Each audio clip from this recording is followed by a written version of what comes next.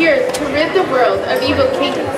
But as Lord Ramachandra, he comes as the very best of monarchs. To keep the promise of his father intact, Lord Ramachandra immediately gave up his position as king, and accompanied by his wife, Mother Sita, he began wandering from one forest to another on his lotus feet, which were so delicate they were unable to bear the touch of even Sita's palms.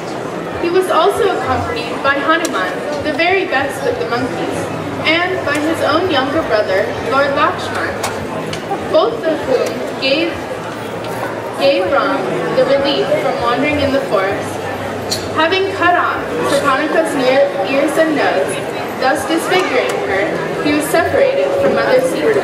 He therefore became angry, moving his eyebrows and thus frightening the ocean, who then allowed the Lord to construct a bridge to cross the ocean. Subsequently, the Lord entered the kingdom of Ravana to kill him, like a fire devouring a forest. May that Supreme Lord, Ramachandra, give us all protection.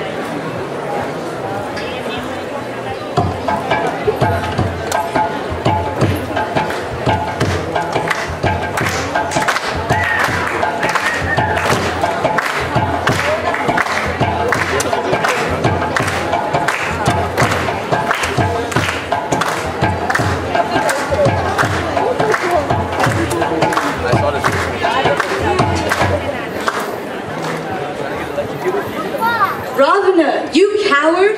Prepare to meet your destiny. You come here with your army of monkeys. You, a king without a kingdom. I shall finish you now and take your wife once and for all. You wretch! You are like a dog who steals food from his master while he is away from home. You kidnapped my wife in my absence. From that day, your life was doomed.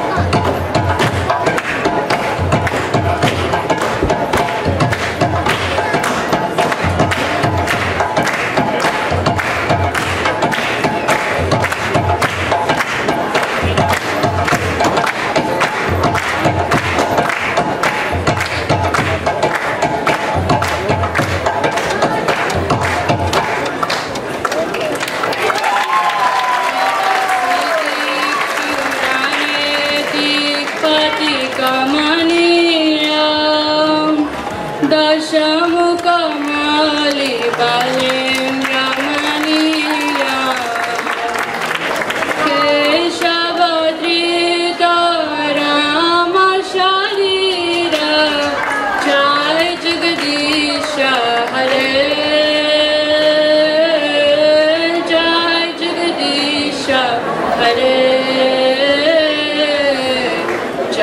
Jagdish Hare.